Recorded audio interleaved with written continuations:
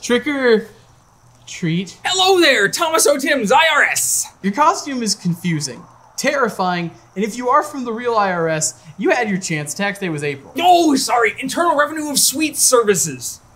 And what are you supposed to be? I'm a Zuman. Like the. z- Never mind. You're an employee of the IRS.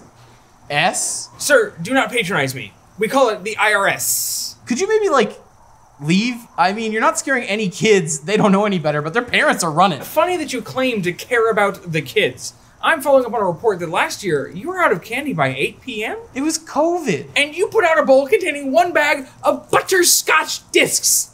That is a candy that the FDA has rated a D minus foodstuff. The Food and Drug Administration doesn't give letter grades to candy.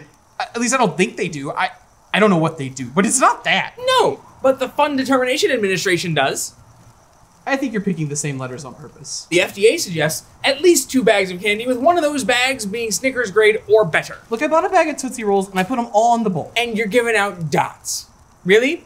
Dots? These are banned in seven states across Texas. Hey, I like dots. They may be chalky and don't taste like anything, but they come in just such a neat little cute yellow box. Look, I'm gonna be honest, sir.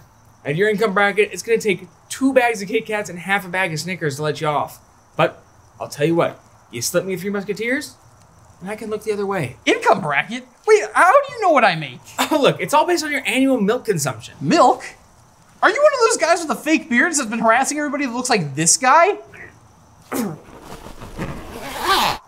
You give me seven dollars, and I wish you a happy Halloween.